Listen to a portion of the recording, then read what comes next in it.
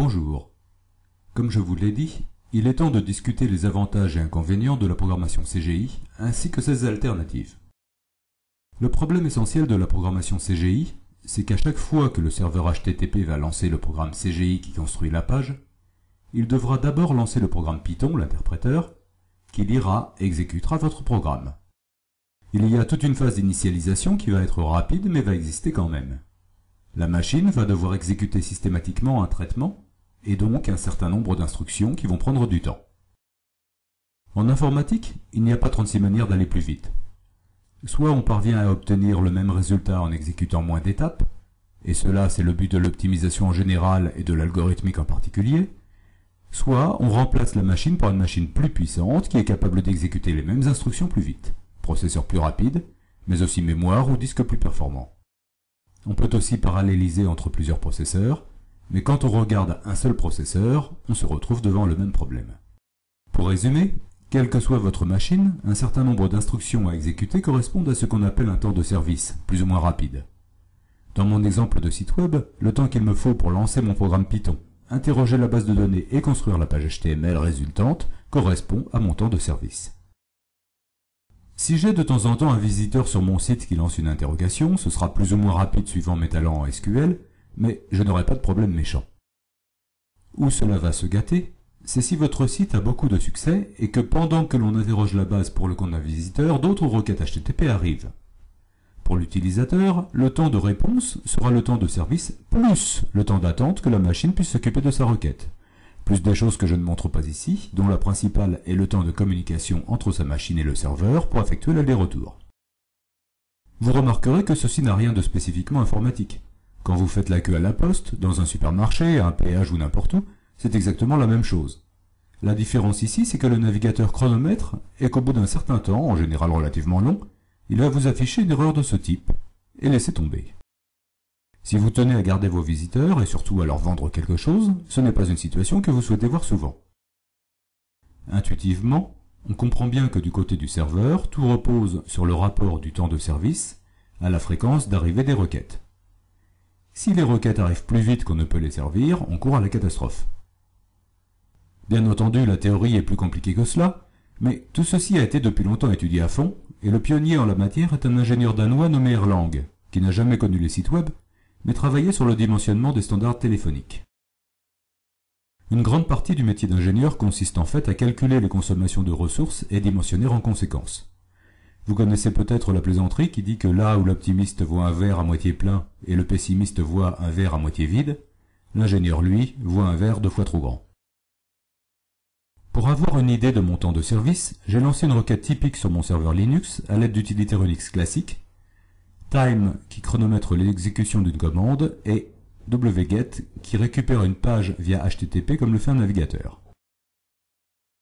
Il y a d'autres manières de chronométrer les performances d'un site web, y compris des modules que l'on peut rajouter à un navigateur. Mais ce que je vois, c'est que sur ma machine qui n'a rien d'une bête de course, récupérer la page qui correspond à la liste de tous les drames de ma base de films prend à peine plus d'un dixième de seconde. Cela veut dire que, sous réserve que tous mes traitements ressemblent à celui-là, je peux encaisser 8 requêtes par seconde sans le moindre souci en continu. Il faut bien voir qu'un visiteur du site ne va pas passer son temps à envoyer des requêtes. La plupart du temps, il regardera ce que le serveur lui renvoie. Et il faut voir aussi que l'on peut avoir des points plus élevés. 20 requêtes par seconde ne seront pas un problème si cela arrive de manière exceptionnelle et si l'on peut résorber la file d'attente. Peut-être que le site semblera un peu lent à un moment, mais ce n'est pas dramatique. 8 requêtes par seconde en continu pendant une bonne partie de la journée, cela correspond à un site déjà bien fréquenté. La plupart des sites peuvent donc parfaitement s'accommoder de traitements CGI et ne pas souffrir du tout de la prétendue lenteur de CGI. Ceci dit, si votre ambition est de devenir Facebook à la place de Facebook, il est possible que le CGI ne vous suffise pas. Une idée que certains ont eue, c'est de se dire, plutôt que de lancer l'interpréteur Python à chaque requête, pourquoi ne pas le lancer une fois pour toutes, un peu comme le serveur HTTP lancé une fois pour toutes, et lui passer la main quand c'est nécessaire. Cela, c'est l'idée derrière ce que l'on appelle FastCGI, dont SCGI est une version simplifiée comme l'indique le S. La programmation en FastCGI ou SCGI est comparable à la programmation CGI, avec quelques particularités. Une autre possibilité, mais qui dépend du serveur HTTP, est l'utilisation de modules. C'est la méthode classique avec Apache. on va rajouter à Apache un interpréteur PHP, un interpréteur Perl, un interpréteur Python qui feront réellement partie du serveur HTTP. L'avantage par rapport à CGI et à ses dérivés, c'est que même la page d'accueil peut être dynamique. Pas besoin de passer par un formulaire qui appelle un programme. L'inconvénient, c'est qu'à force de lui rajouter des modules, le serveur Apache va voir son tour de taille augmenter. Ce que je veux dire par là, c'est que les interpréteurs que l'on va rajouter vont consommer de la mémoire et de la puissance processeur, et que pour avoir le même niveau de performance, il faudra avoir des serveurs plus puissants si l'on entasse les modules.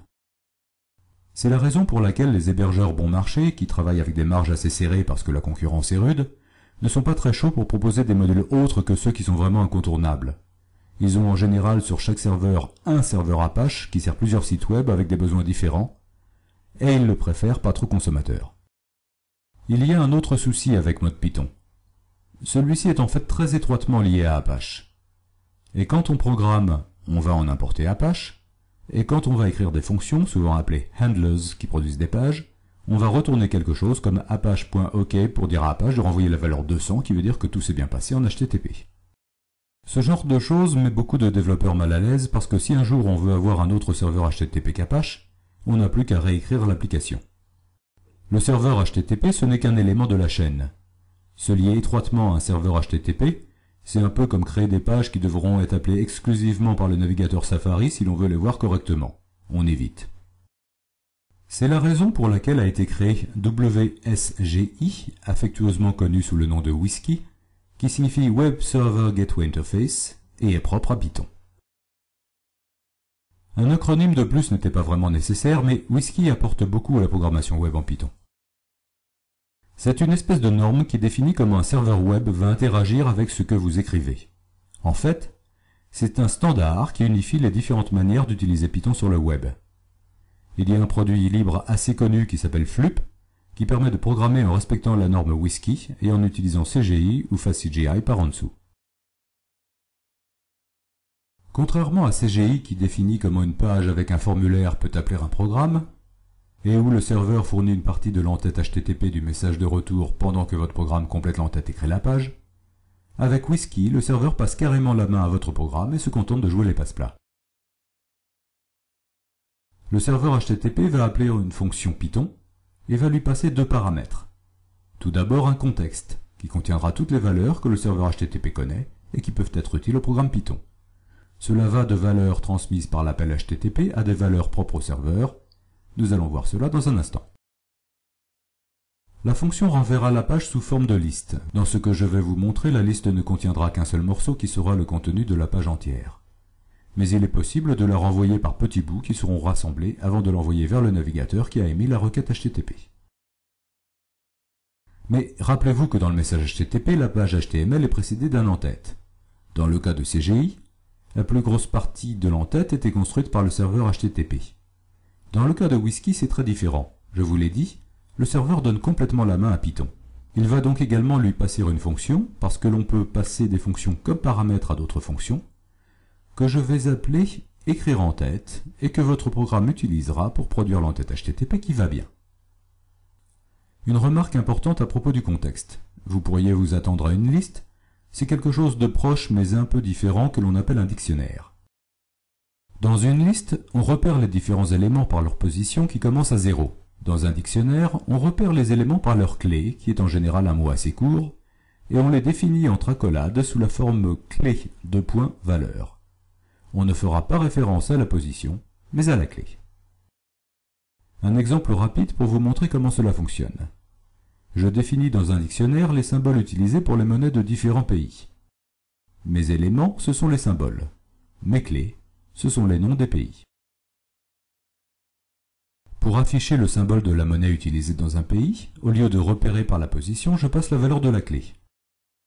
Vous remarquerez que si, quand je définis le dictionnaire, j'enferme la liste entre des accolades, et non plus les crochets des listes, quand je vais chercher un élément, c'est bien entre crochets que je mets la clé. Les dictionnaires ne sont pas indispensables, beaucoup de langages de programmation ne connaissent rien d'équivalent, mais ils sont assez pratiques parce qu'ils évitent d'avoir par exemple une liste de clés et une liste de valeurs et d'utiliser l'une pour aller piocher dans l'autre. Écrivons donc notre première application Whisky. La fonction qui va être appelée par le serveur HTTP avec les deux paramètres qu'il va lui passer. Pour l'instant, je vais écrire une page de test très simple qui se bornera à afficher le contexte que vous voyez un peu ce que l'on vous passe. Ce que vous pouvez faire, c'est afficher tout le contexte en bouclant sur les clés, ce que vous pouvez faire en appelant la méthode de dictionnaire keys. Vous verrez qu'il y a beaucoup, beaucoup de choses, dont certaines assez indiscrètes.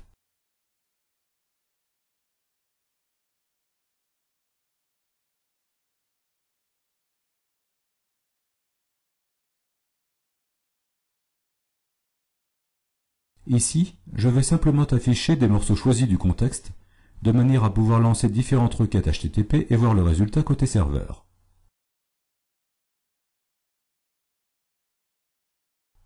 Ce que j'affiche n'est pas sans rapport avec ce que nous avons vu avec CGI, ce n'est évidemment pas un hasard.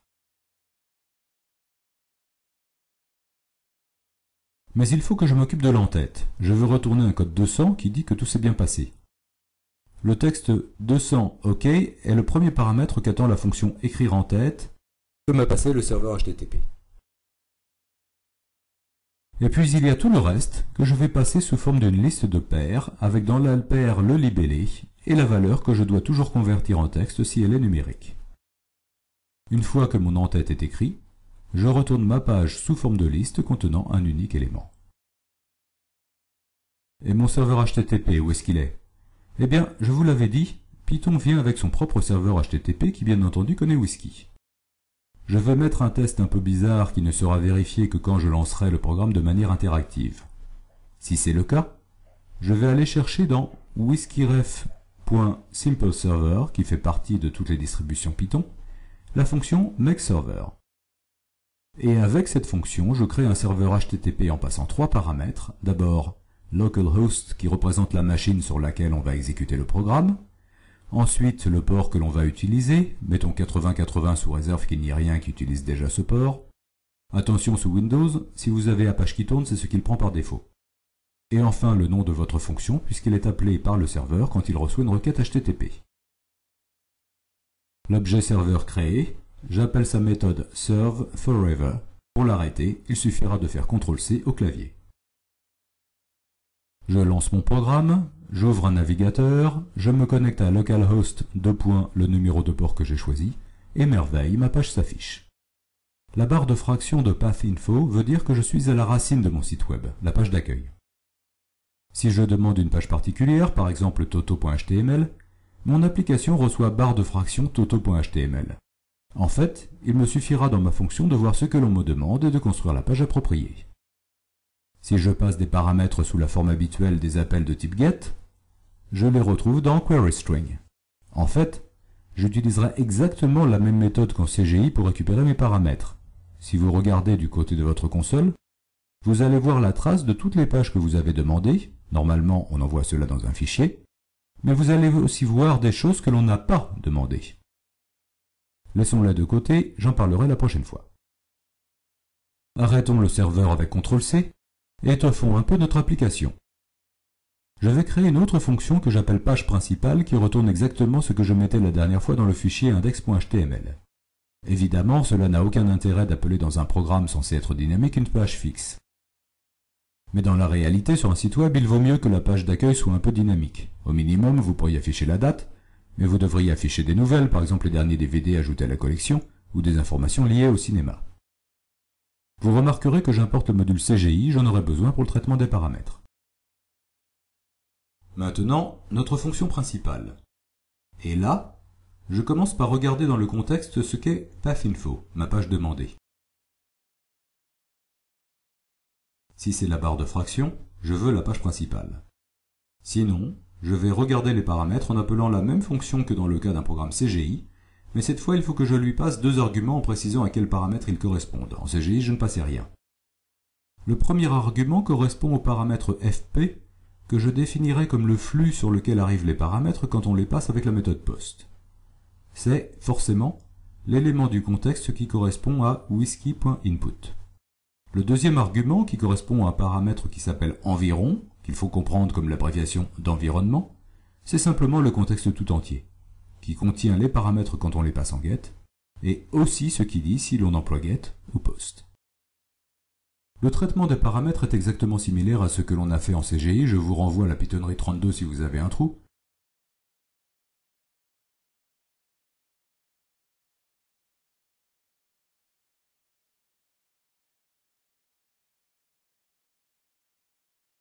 Et dans un premier temps, je vais me contenter d'afficher ce que l'application récupère.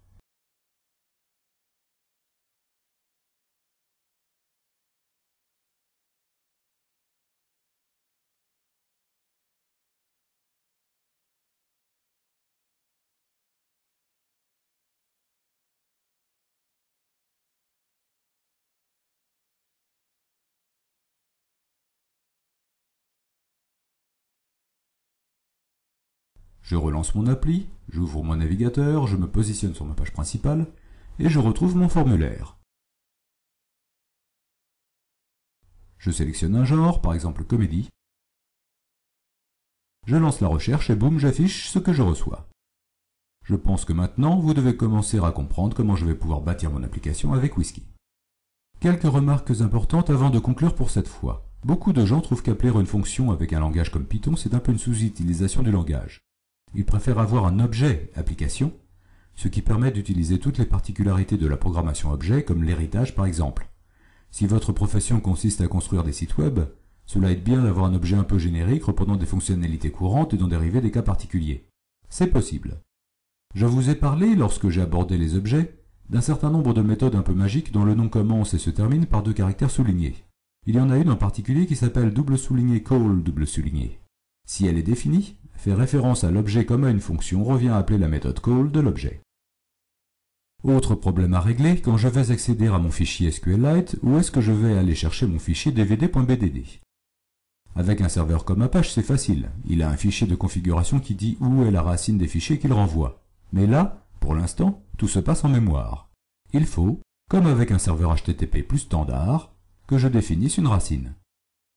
Voici comment je vais faire je vais définir une classe application avec un A majuscule comme d'habitude avec les classes.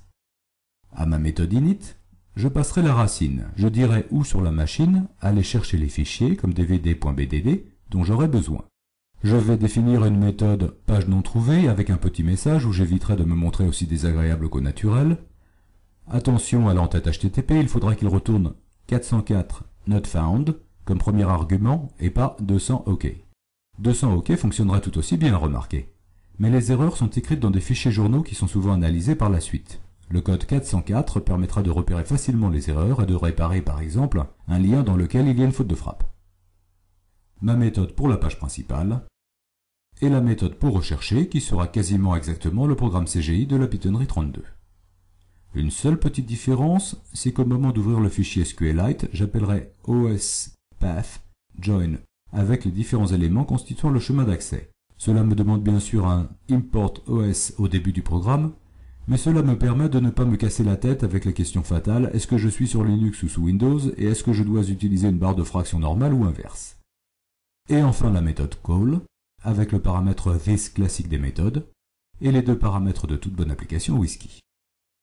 Pour lancer mon application, c'est comme avant, sauf qu'évidemment je ne peux pas appeler une méthode avant d'avoir créé l'objet, et je crée donc mon objet en passant la racine de mon site avant d'appeler l'objet comme s'il était une fonction.